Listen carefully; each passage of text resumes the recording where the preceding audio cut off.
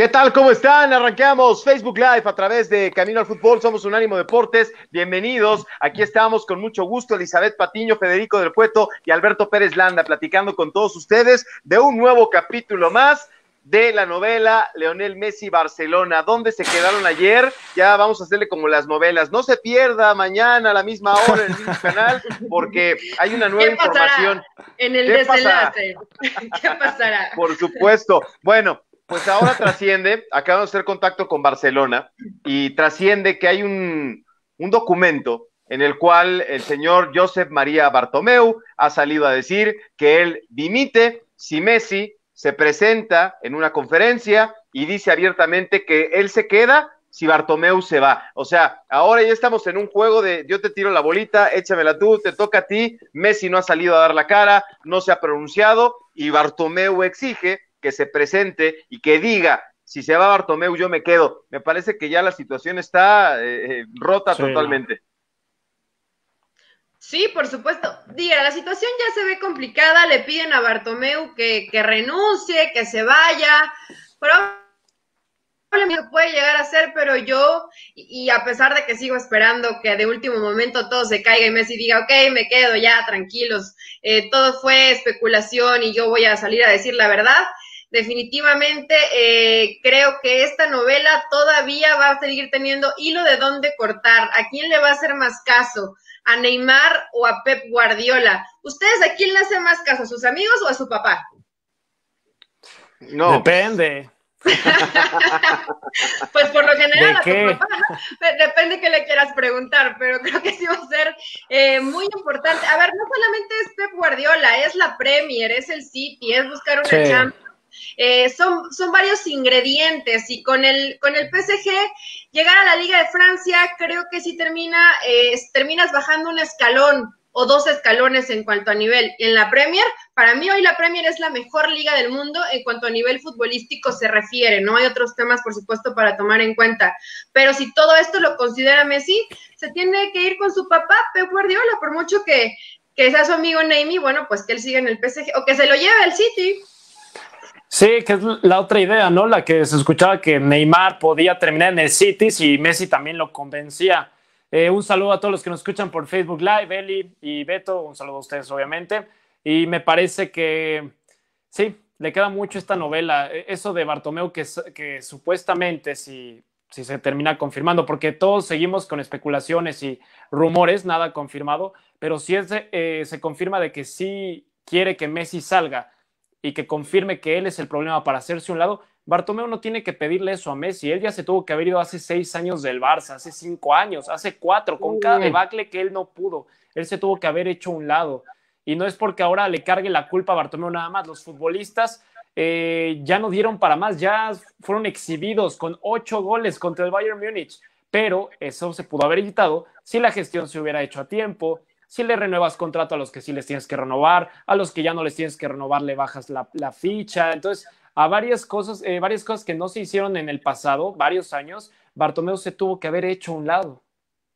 Sí, sí, por supuesto, me parece que, pero este tema ya, a mí no me, no, no hay ninguna situación que me haga creer que Messi se va a quedar en el Barcelona. O sea, la relación está rota, el proyecto, yo escuchaba hace rato a Elizabeth que estaba platicando en libre directo, o sea, y se los dijo Mario Kempes, ¿eh? No es nada más una persona que habló para dar una opinión, no. Mario Kempes, figura mundialista, líder de, la selección de Argentina del 78, y les dijo que este, este proceso va a llevar tiempo. O sea, este Barcelona, en voz de Mario Kempes, se va a tardar por lo menos tres años en volver a competir al mismo nivel.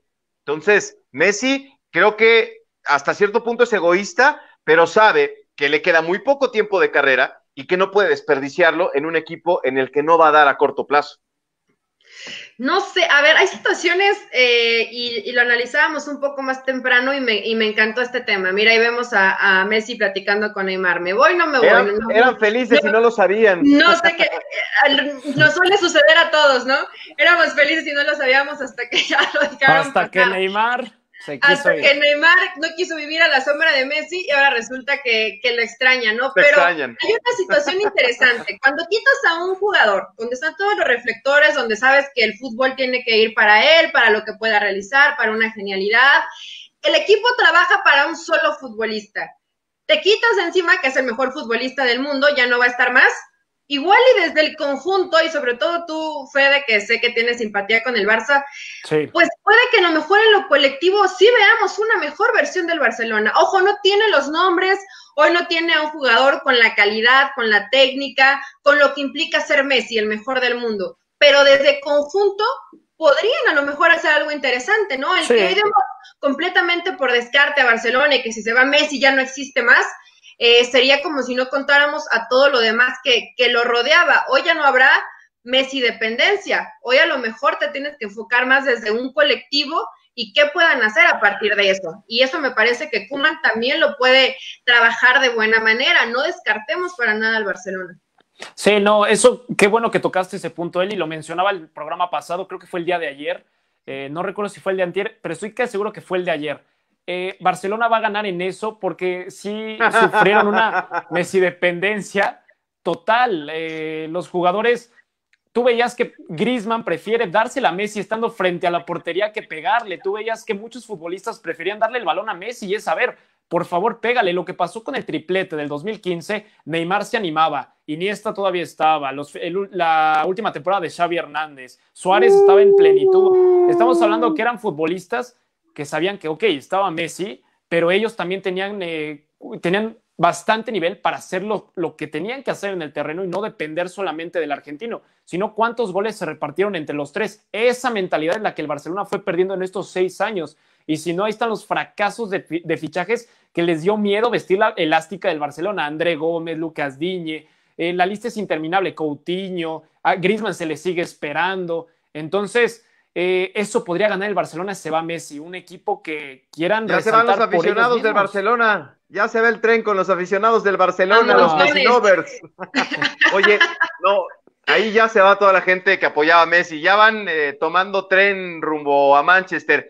¿Qué pierde el Barcelona y qué pierde la liga? Hace rato platicábamos, Eli, ayer me quedé al término de Camino al Fútbol con un compañero, con Higinio Robles, y me decía una cosa que es muy interesante en el tema de los partidos que, podría tener Leonel Messi el año entrante, dependiendo a la liga a la que se vaya. Si, si tiene la posibilidad de ir al PSG, ¿cuál va a ser el partido atractivo? ¿El choque con el Mónaco? ¿El choque con el Lyon? Y párale de contar, ¿eh? Si se va a la liga italiana, Milan y Juve, que sería espectacular otra vez reunir a Cristiano contra Messi en la liga italiana. Ese creo que sería el gran partido que todo el mundo quiera ver. Ahora, si se va con el Manchester City, Liverpool, Chelsea, Obviamente son juegos que todo el mundo va a querer ver. Arsenal, Leicester City, Elite United de Marcelo Bielsa. O sea, la Liga Premier. No, no, el Wolverhampton. Eh, no sé, yo creo que va a ganar muchísimo, muchísimo el fútbol de la Liga Premier con la llegada de un futbolista como Messi, que no llega en plenitud, que no llega, se los dijo Mario Kempes. Llega un momento en que las piernas, que yo también no creo que Messi esté mermado, ni acabado, ni mucho menos. Creo que todavía le quedan un par de años de demostrar su gran capacidad y estar al más alto nivel. Sí, a ver, definitivamente, por supuesto, a ver, estamos hablando de que llegas a una liga donde todos los equipos juegan bien, que es la Premier, ¿no? Definitivamente sí entra a otro nivel en cuanto al tema de, de, competencia, de los partidos que estaríamos esperando, de ver a Messi en acción con este, con este City, si realmente esta dupla, porque a veces se necesita, ¿no? Guardiola Messi para volver a conseguir una Champions, todos este tipo de, situaciones que te pueden de, eh, aderezar el que esté Messi en un equipo como el City. Y honestamente, por más que sea su amigo Neymar, no veo a Messi en un PSG. No, no, no. o sea, no creo que ni siquiera lo esté contemplando. Pero Beto, Eli, a ver, aquí estamos hablando también de Lionel Messi. Yo creo, y entiendo tu punto, Beto, de qué le convendría más, qué pasaría. Todos van a ver a Messi a donde vaya. Si se va a la Liga On, lo van a ver contra el Mónaco, contra el Olympique, contra el Zenitien. Si se va a Inglaterra, contra el West Ham, contra el Aston, contra todos. Igual en Italia, igual en donde él aterrice, o si se queda igual en Barcelona, que yo aún pienso que hay una posibilidad. Obviamente a mí me gustaría que se quedara, pero si no se va, también Beto, esa palabra que se, quizás suena un poco egoísta, no. Le ha dado tanto al Barcelona y el Barcelona le ha dado tan poco a Messi en los últimos años no, que obviamente se merece y se merece terminar Estamos a mano, Estamos a mano. Estamos a mano. Eh, Barcelona le ha dado un montón a Messi y si no, hay que checar nada más la cuenta bancaria. Últimamente, de estos seis Pero le pagan. le pagan mes con mes, ¿eh? Pero estos últimos años, ahí están los registros, Beto. Quien aparece es Messi. ¿Quién más puedes decir? Esta temporada destacó este en vez de Messi. Todos los años fueron los mismos inconstantes y el mismo constante. Y el mismo constante fue Messi. Luis Suárez en su momento, Ter Stegen en su momento. Claro, pero, los, pero no se mantuvieron como Messi. El más parejo y el más cercano se llama Ter Stegen, claro. Pero fuera de Ter Stegen, ¿quién más? Y esos eran los diarios por años, Beto. Yo no sé si llegaste a ver Oeli, Diario Marca, Sport, todos, Mundo Deportivo. Todo era Ter Stegen, Messi y nueve más. Vuelve a ganar el Barcelona por Ter Stegen. La siguiente semana vuelve a ganar el Barcelona por Messi. Entonces también estos últimos años. Pero porque así el, el, planteamiento desde también la dirección técnica, Fede, cuando tienes a un jugador como Messi, pues ¿qué, qué haces lo primero? Dénsela al 10, ¿no? y, a ver de qué manera eh, nos resuelve todo lo que, lo que está pasando. Dice ahí, Tabata, perdón, Federico. ¿Cómo, que? Es la mamá de Fede, saludos a ah. Tabata. ya te está regañando tu mamá por lo que estás diciendo. De, hecho, les voy a comentar algo rapidísimo. Ella me, dio un tema rápido hace en la semana ¿Qué tanto pierde? No déjense el Barcelona, la ciudad de Barcelona en turismo, en Hacienda, lo que pagaba Messi. No, no. Si se va Lionel Messi va a ser en Hacienda. trágico. ¿eh? Manden para acá para que pague todo Messi y nos libere. 50 millones de euros daba Hacienda, Messi Hacienda, imagínense ese dinero. No, no, terrible. Bueno, eh, Tilo Pop, buenas tardes, saludos desde Belice, con mucho gusto, un abrazo hasta Belice, gracias por estar en sintonía. Messi va a hablar en el chiringuito hoy. Ah, caray, esa no me la sabía, estaremos pendiente. Los medios son los que están haciendo más chisme y les apuesto que Messi está como si nada. Seguro que está tranquilo en su casa disfrutando de las tardes y las noches de, Barcelona. Emerson Alonso Castellanos, saludos estimados, un placer escucharlos. A ver quién más aparece por ahí. Esta Eli, te la dejo. Jaime, ¿qué? Jaime, Jaime Incapié. ¿Quién manda el equipo, el jugador o el presidente del club? O sea, los quiero, los quiero la siguiente semana con lentes, ¿eh? Los tres. Si quita jugadores, quita técnicos y ahora va a quitar presidentes. Qué bárbaro ese Messi, ¿eh? A ver, no, pero Beto, Beto, Beto, a ver, lo de Bartomeo es irrescatable. O sea, no, no hay forma de pensar, lo hiciera o no lo hiciera Messi, salga o no salga Messi. Lo de Bartomeu no daba para más. Hola chicos, ya se comprobó que Messi es más grande que Bartomeu. Barça no es nada sin Messi. Saludos. Bueno, espero que Fernando no nos esté viendo porque ese tipo de comentarios le, le calan muy fuerte. Yo veo que se no, le va a dar un infarto. Me decía Tomás en la interna, oye, y si desciende el Barça, le digo, por favor no lo digas. No sé si Fernando comió aguacate y no queremos que ocurra una tragedia. Tony González, Elizabeth Patiño, saludos. Un beso, Tony. Santiago Flores, ¿a poco dices que no hay calidad? Les recuerdo que estarán Griezmann, que es campeón del mundo, y otros más. Eso, eso de ser campeón del mundo, sigo pensando que es, es muy engañoso, ¿eh? Si no, pregúntenle a Samuel Untiti y pregúntenle a varios campeones del mundo, a Tomás Lemar en el Atlético. No porque seas campeón del mundo te asegura que vas a ser garantías para un equipo, ¿eh?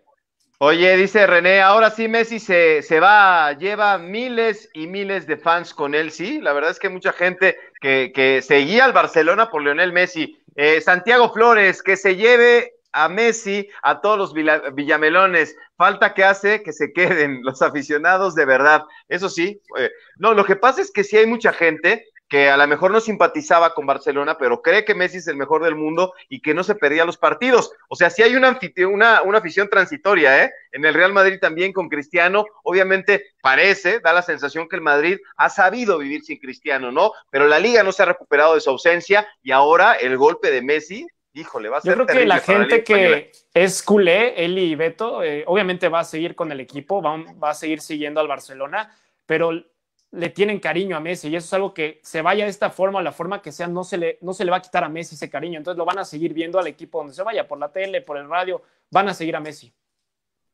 Oye, Alejandra García dice, pregunta seria, ¿siempre vamos a hablar de Messi? Pues por un rato la... Por un rato te, sí. Saludos a Ale y a su familia, dice que cuando los visito, pues ahora que se acabe todo este tema tan complicado. ¿Quién es Ale? Alan Martínez, saludos a Fabi y a Alberto desde Pachuca. ¿Quién Fabi? No sé, Fabi, a Eli, a Eli y a Beto, amigos de Pachuca, gracias. ayer Eli ya me pusieron Nicolás. ¿Ya te cambiaron ah, el nombre? Sí, Nicolás.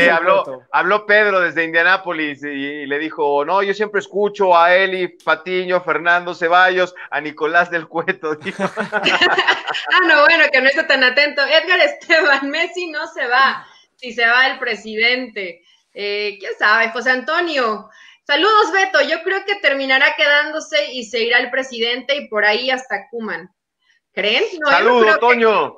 Con mucho gusto, compañero de exalumno del Cristóbal, futbolero 100%. Y yo creo que, no sé, yo creo que de, los tres nombres, creo que el que se queda es Kuman. Creo que es el que va a aguantar más mira, la. Mira este comentario, Beto. Tomás Castillo dice: Saludos de Colombia, me comuniqué con Messi y él se va del Barcelona. Solo falta esperar un par de días y se da oficial. Es bueno saber que ya se confirma, ¿no? Sí, muchísimas gracias, Tomás, Tony González. Yo del Atlético Nacional y el Atlanta United y por ahí cliente del River Plate, por supuesto. Oye, a ver, eh, me, puedes explicar cómo, cómo es eso del cliente y el aficionado, Eli? Porque lo maneja mucho Ricardo, lo maneja mucho Leo Vega. O sea, ¿cuál es el cliente y cuál es el aficionado? ¿Cómo está el tema? No sé bien, a ver, eh, ¿qué, ¿qué, broncas se traen en la parte sur de, del continente por este tema? Si te simpatiza el equipo, ¿qué más da? Es que quieren poner en un penallo, en un penallo muy alto a los hinchas, los que eh, prácticamente dejan la vida y van a ver al equipo a los estadios y viajan y están ahí eh, como precisamente Tomás sabe, ¿no? Eh, muy seguidor de, Racing. Pero de ahí están los clientes, los que de pronto llegan y bueno, lo consumen porque está de moda, porque está Messi, porque ves a alguien que dice, ah, eh, culé o a la Madrid y te quiere subir más o menos al, al tren cuando realmente ni siquiera conoces lo que es la historia, la pasión, la tradición creo que así lo quieren diferenciar, ¿no? Y también un punto que tocaban, para ser aficionado de un equipo ¿importa un tanto la, nacionalidad? O sea, por ejemplo, si no eres catalán, ¿no puedes ser realmente aficionado del Barcelona? No. No, pues aquí tenemos uno de corazón. Beto, Beto lo sabe desde hace años. Creo que yo soy, y sin problema, más culé que gallo blanco. Lo único que le faltó a Fede fue nacer en Cataluña. Todo lo demás cumple con el requisito. Mi Fede, no es la persona la que siguen, sino lo que la persona sabe hacer. Ahí está el buen René Zamudio. Se nos pasaron algunos saludos. Ya estamos de vuelta en el programa de radio a través de Camino al Fútbol en un ánimo Deportes. Mario Guzmán, que no se preocupe el Barça. La Chofis está listo.